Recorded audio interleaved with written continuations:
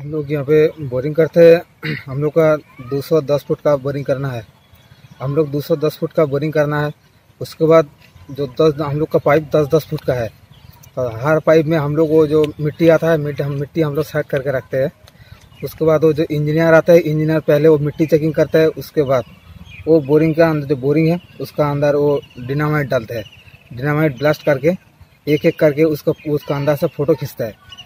उसके बाद ये फ़ोटो जाता है लैब में वहाँ जाके चेकिंग उसके बाद पता चलेगा इसमें क्या है तेल है क्या गैस है।